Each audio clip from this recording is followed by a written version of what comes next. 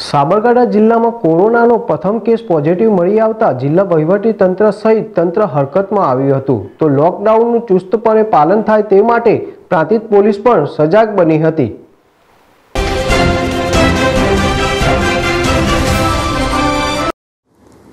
હાલ દેશ સહિત વિદેશોમાં કોરોનાને લઈને મહામારી ફેલાઈ છે.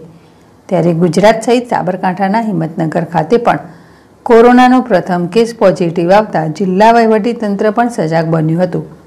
તો પ્રાંતિજ પોલીસ સ્ટેશનના પીઆઈ એમડી ચંપાવતના માર્ગદર્શન હેઠળ પ્રાંતિજ પીએસઆઈ બીડી રાઠોડ તથા મહિલા પીએસઆઈ પીડી ચૌધરી દ્વારા પ્રાંતિજ ખાતે જાહેરનામાના જાહેરમાં ભંગ કરનાર સાત જેટલા કેસો નોંધાયા હતા, જેમાં અઠ્યાવીસ લોકોની જાહેરનામાનો ભંગ કરવા બદલ અટકાયત કરવામાં આવી હતી અને કાયદેસરની કાર્યવાહી હાથ ધરી હતી. તો સાંજના સમયે પ્રાંતિજ ગોપીનાથ સોસાયટી સહિત વિવિધ સોસાયટીઓમાં ડ્રોન કેમેરા દ્વારા નિરીક્ષણ કરી સોસાયટીઓમાં જઈને સોસાયટીના રહીશોને ઘરોમાં રહેવા અપીલ કરવામાં આવી હતી.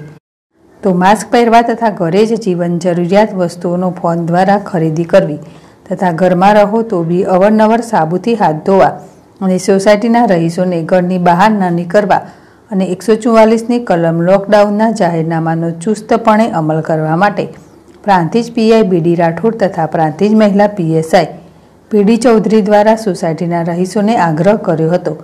અને ઘરોમાં રહો, સુરક્ષિત રહો, ખોટી અફવાઓથી ડરશીઓને જણાવ્યું હતું. અને તમે સુરક્ષિત રહો અને તમારા પરિવારને પણ સુરક્ષિત રાખો. એપ્રોચ રોડ ઉપરની વિવિધ સોસાયટીઓમાં પેટ્રોલિંગ પણ કર્યું હતું. તો જિલ્લા કલેક્ટર સીજે પટેલ દ્વારા પણ જિલ્લાના લોકોને ઘરોમાં રહેવા અપીલ કરાઈ હતી. અને કોરોનાથી ડરવાની જરૂર નથી પણ સાવચેતી રાખવા જણાવ્યું હતું.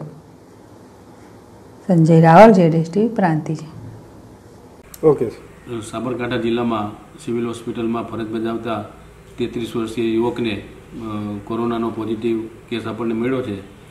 આ કેસ મળ્યો છે એટલે ગભરાવાની જરૂર નથી. જે આપણે તકેદારીના પગલાં લેવાના છે એ વ્યક્તિઓએ લેવાના છે અને સાથે સાથે અમારે વહીવટીતંત્રએ પણ અત્યાર સુધી આ સિવિલ હોસ્પિટલને સેનિટાઈઝ પણ કરી દીધી છે. એ ઉપરાંત આ વ્યક્તિના સંપર્કમાં આવેલા ડૉક્ટરો એના બીજા પેરામેડિકલ સ્ટાફ, આ બધાને પણ આપણે ક્વોરન્ટાઇન કરી દીધા છે. એટલે એમની જગ્યાએ જે જગ્યાએ રહે છે, એને પણ આપણે કન્ટેનમેન્ટ કરેલું છે. એટલે તકેદારીના પૂરતા પગલાં લેવામાં આવી રહ્યા છે. પણ લોકોને ફરીને ફરી વિનંતી હું કરું છું કે લોકોએ ઘરની બહાર નીકળવું ના જોઈએ, ભીડમાં જવું જ ના જોઈએ. જેથી કરીને એનો ચેપ બીજાને ક્યાંય પણ લાગે નહીં. અને આ ક્યાંથી ચેપ લાગ્યો છે એની તપાસ પણ પૂરેપૂરી અત્યારે અમે કરી રહ્યા છીએ, એનું કોઝ શોધી રહ્યા છીએ.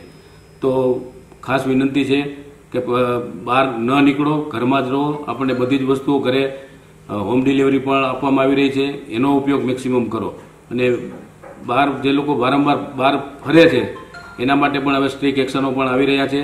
એના માટેની જાહેરનામાઓ પણ અમે આજે જ બહાર પાડીએ છીએ. રાતના સમયથી જે જાહેરનામાઓ અમલમાં આવશે એ જાહેરનામાના અમલવારીમાં ખાસ કરીને પોલીસને લોકો સહયોગ આપે, જેથી કરીને આપણે આ કોરોનાના ચેપી રોગને નિયંત્રણમાં રાખવા માટે સક્ષમ બની શકીએ.